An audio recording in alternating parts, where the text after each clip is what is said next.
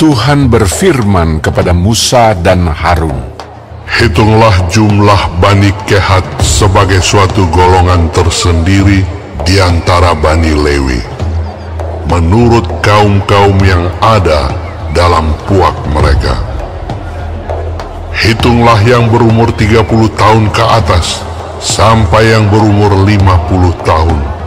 Semua orang yang kena wajib tugas, supaya mereka melakukan pekerjaan di kemah pertemuan.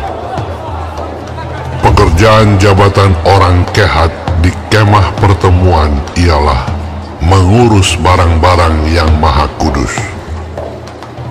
Kalau perkemahan akan berangkat, haruslah Harun dan anak-anaknya masuk ke dalam untuk menurunkan tabir penudung dan menudungkannya kepada tabut hukum.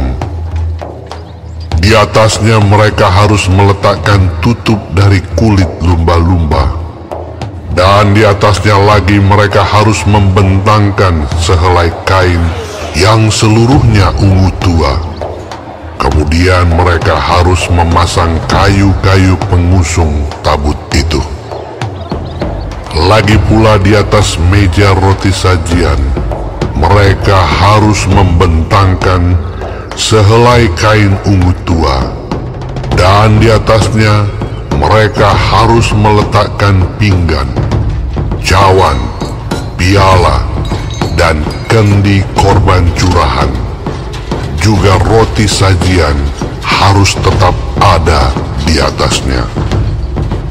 Di atas semuanya itu, mereka harus membentangkan sehelai kain kirmizi lalu menudungnya dengan tudung dari kulit lumba-lumba. Kemudian mereka harus memasang kayu-kayu pengusung meja itu. Lalu mereka harus mengambil sehelai kain ungu tua dan menudungkannya kepada kandil untuk penerangan dengan lampu-lampunya.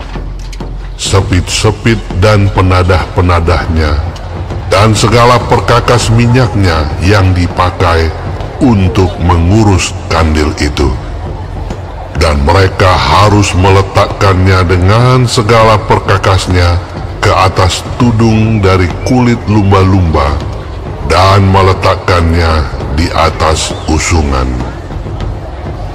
Di atas mesbah dari emas itu, mereka harus membentangkan sehelai kain ungu tua dan menudunginya dengan tudung dari kulit lumba-lumba. Kemudian mereka harus memasang kayu-kayu pengusung mesbah itu. Lalu mereka harus mengambil segala perkakas yang dipakai untuk menyelenggarakan kebaktian di tempat kudus.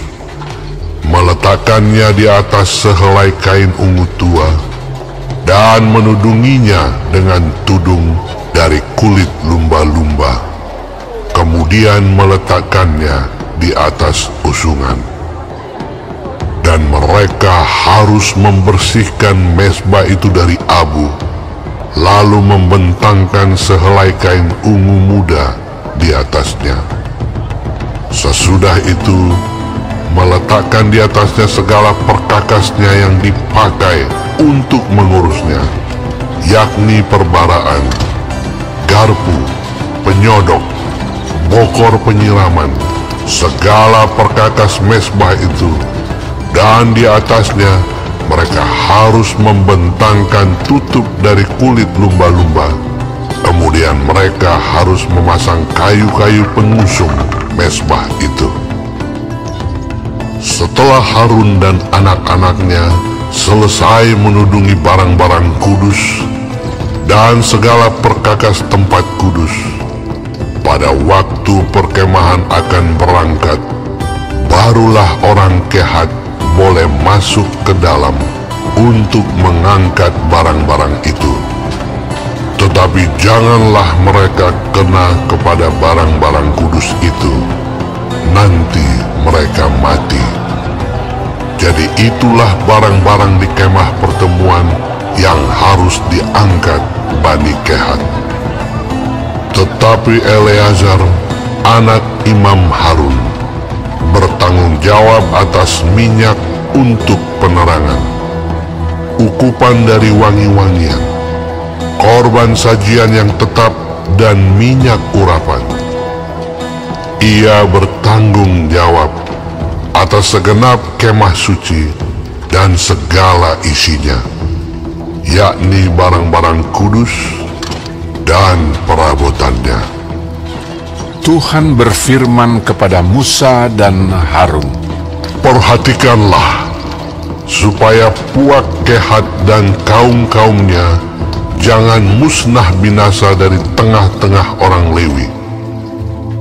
Inilah yang harus kamu lakukan bagi mereka, supaya mereka tinggal hidup dan jangan mati apabila mereka mendekat ke barang-barang maha kudus. Harun dan anak-anaknya haruslah masuk ke dalam dan menempatkan mereka masing-masing di tempat tugasnya dekat barang yang harus diangkat. Tetapi janganlah orang kehat masuk ke dalam untuk melihat barang-barang kudus itu, walau sesaat pun nanti mereka mati.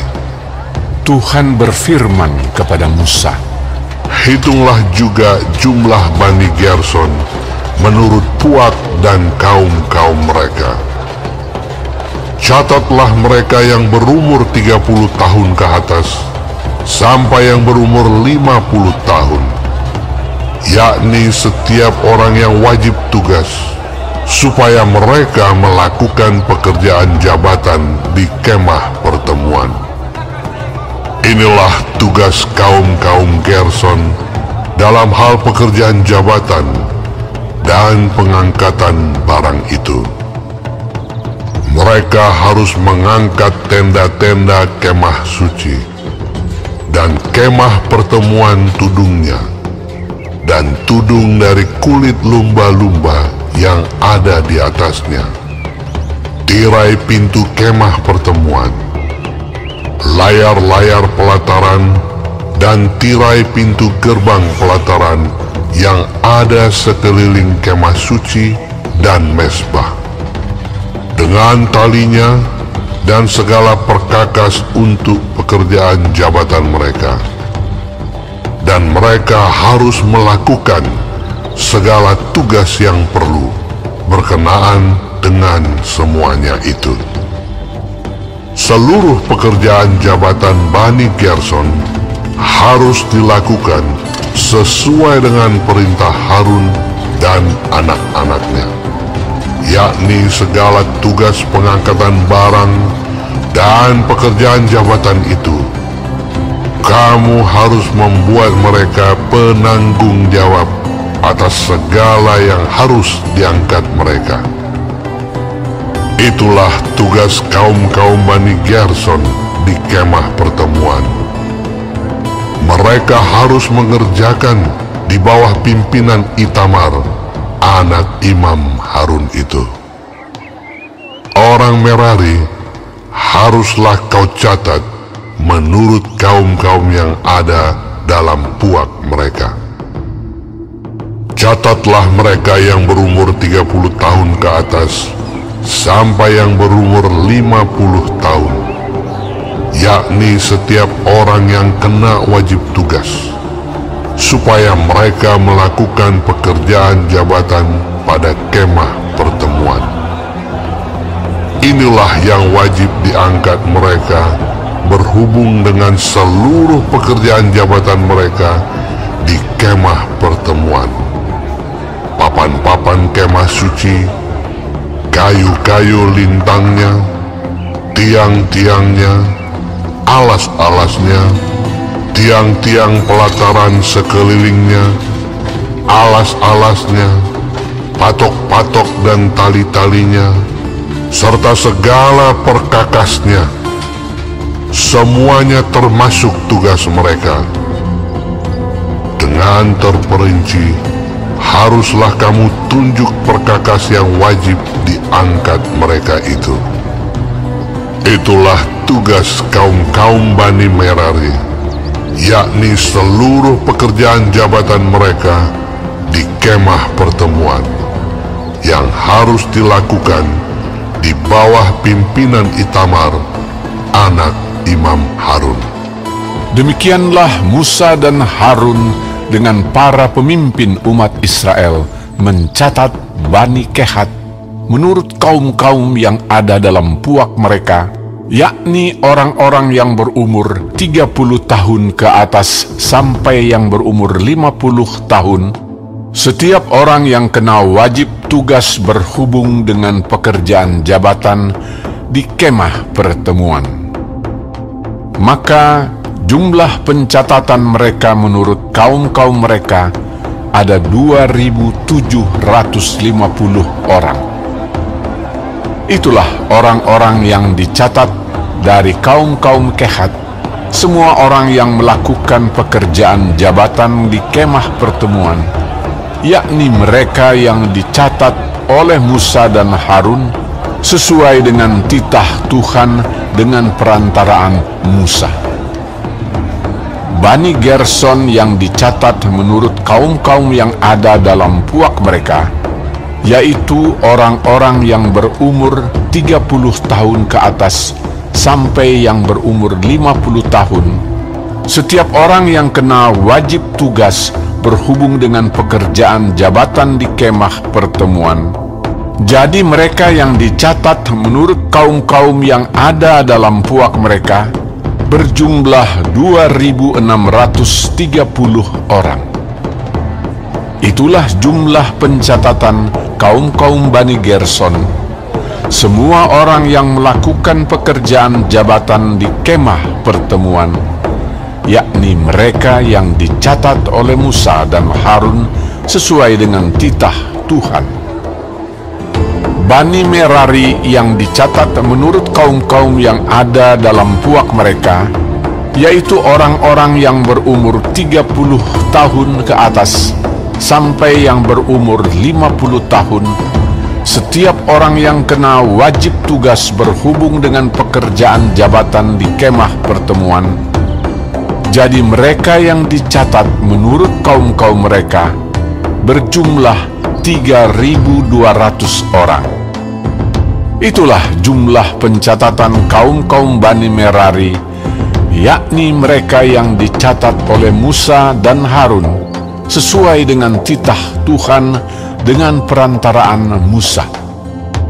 Semua orang Lewi yang dicatat oleh Musa dan Harun dengan para pemimpin Israel menurut kaum-kaum yang ada dalam puak-puak mereka, yakni orang-orang yang berumur 30 tahun ke atas sampai yang berumur 50 tahun setiap orang yang wajib melakukan pekerjaan jabatan di kemah pertemuan dan pekerjaan pengangkatan barang. Jadi mereka yang dicatat berjumlah 8.580 orang. Sesuai dengan titah Tuhan dengan perantaraan Musa, maka mereka masing-masing dibuat penanggung jawab atas apa yang harus dikerjakan dan diangkatnya.